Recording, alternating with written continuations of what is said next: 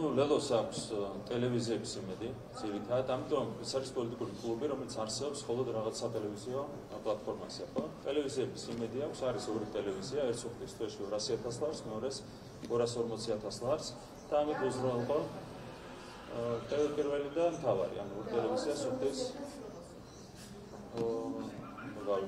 200 არის ტელე პირველი 240 არის თავარი თავარი არის ინჟუანონ ერთმანეთში ამ ტელეკომპანიებმა. ამ ერთ სოფლის 200 მეორე 240 და ნუ თავარი გარიგების ასე ვთქვათ არსი მდგომარეობს იმაში რომ ველო უფრო მეტად უნდა გაშუქდეს ამ ტელევიზიების მიერ. და ამის იმედი აქვს ველოს თუ დააკვირდებით სარედაქციო პოლიტიკას ნახავთ რომ ველო დღეს უფრო ფართოდ არის წარმოქმნილი ეს იყო გეზერაშვილი ფაზარაძის გარიგება. დღეს ველო არის უფრო ფართოდ წარმოქმნილი ამ თავარ არხზე და ასევე პირველში ვიდრე მანამდე იყო წარმოქმნილი ამის არ ვხდით ჩვენ ამის ამის საფასური ამის საფასური არის ამის საფასური არის ლელოსთვის 440.000 ლარი. ამ თქვენ დაინტერესდით ამ ტრაფიკ საფასური რომელსაც იხდეს ხაზარიც. ხოდა გითხარით 200 და 240.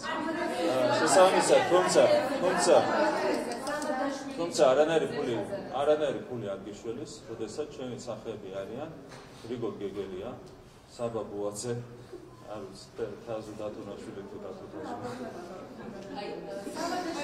სამადაშვილი. არა, ეს საერთოდ ნუ სამადაშვილი. ასე შემდეგ ასეთი სახეებით როგორ შეიძლება გინდოდეს 5%-იანი ბარიერის გადალახვა. რა თქმა უნდა, რაც ნაკლები სამადაშვილი და ასეთი სახეები იქნებიან შემდეგ პარლამენტში მით უკეთესი. ეს არის ერთ-ერთი მიზეზი, რატომაც მათ შორის არ უნდა იყოს დაწეული დაბლა საარჩევნო ბარიერი.